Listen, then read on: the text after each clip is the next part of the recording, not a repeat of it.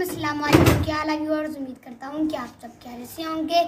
अल्लाह आपको खुश रखे, अपने अपने घरों में आबाद रखे। आज हम बना रहे हैं कद्दू गोश्त। तो सेहत के सेहत के लिए बहुत अच्छे होते हैं तो आइए चलते हैं, बनाते हैं कद्दू गोश्त।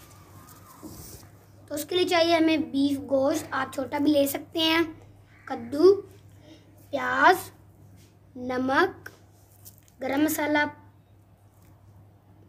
हरी मिर्च, पेस्ट हल्दी, कुटी, लाल मिर्च लाल मिर्च पाउडर, सूखा धनिया पाउडर, लहसुन, अदरक, हरी मिर्च, टमाटर, हरा धनिया, ऑयल, पानी। तो आइए चलते हैं, शुरू करते हैं कद्दू गोश्त बना तो सबसे पहले हम कुकर में गोश्त डालेंगे, बिस्मिल्लाह रख अब इसमें प्याज शामिल करेंगे। अब इसमें डालेंगे लहसुन, बिस्मिल्लाह रहमान रहीम, नमक और हल्दी। अब हम इसमें डालेंगे पानी, बिस्मिल्लाह रहमान रहीम। कुकर को ऊपर से बंद कर देते हैं, बिस्मिल्लाह रहमान रहीम।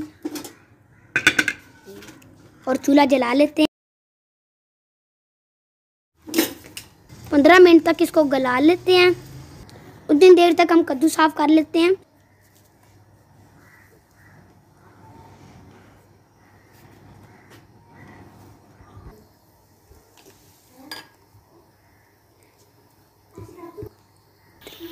बिस्मिल्लाहिर्रहमानिर्रहीम।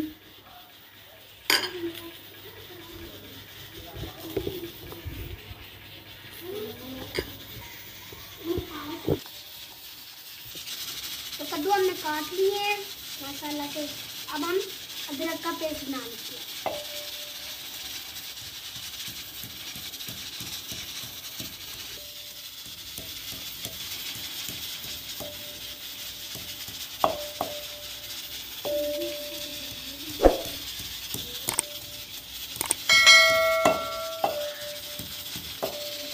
तो काट लेते हैं।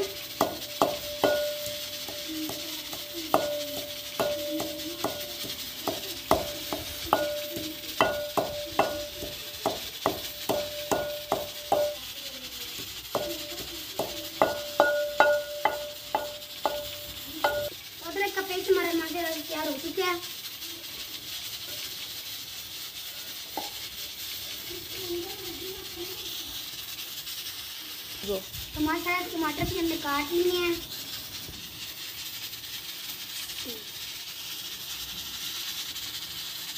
अब हम धनिया को काट लेते हैं।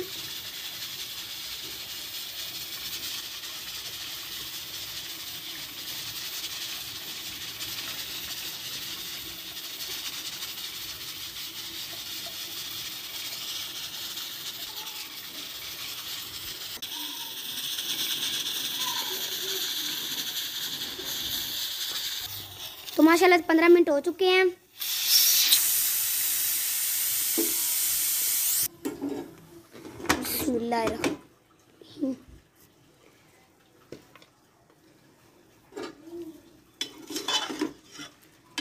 गोश्त मेरा माशाल्लाह से गल चुका है, अब हम इसमें टमाटर और अदरक का पेस्ट शामिल कर देते हैं। बिस्मिल्लाहिर्रहमानिर्रहीम अब हम इसमें डालेंगे हरी मिर्च का पेस्ट। अब हम इसमें डालेंगे कुटी लाल मिर्च लाल मिर्च पाउडर, हल्दी जो बची हुई थी, और सूखा धनिया पाउडर। बिस्मिल्लाहिर्रहमानिर्रहीम। तो अब हम इसमें ऑयल डालेंगे।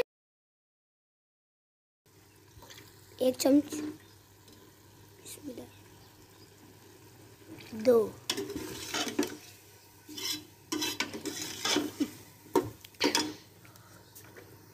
अब हम इसमें डालेंगे कद्दू शरीफ।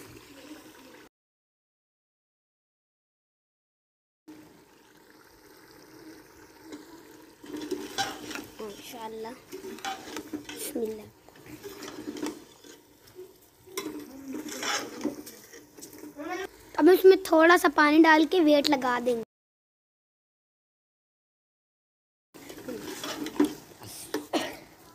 अब हम इनको वेट लगा देंगे।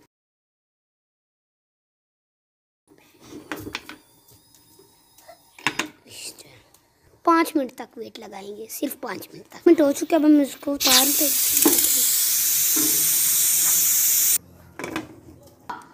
बिस्मिल्लाहिर्रहमानिर्रहीम तो कद्दू माशाल्लाह से हमारे गल चुके हैं, अब हम इनका, इसका थोड़ा सा पानी खुशक कर लेते हैं। तो अब हम इसमें ये तीन साबत हरी मिर्च शामिल कर देंगे और धनिया। ऐसे बहुत अच्छा हमारा कद्दू गोश्त और बहुत मज़े का बना है। तो नमक थोड़ा सा कम लग रहा है तो थोड़ा सा और डाल लेते हैं। रहीम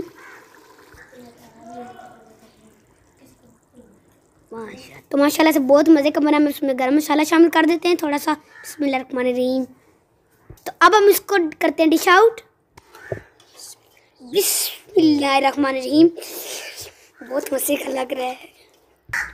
तो अब अब हम्म, इसमें थोड़ा सा गरम मसाला शामिल कर देते डिश आउट हमने कर लिया माशाल्लाह से बहुत अच्छा लग रहा है।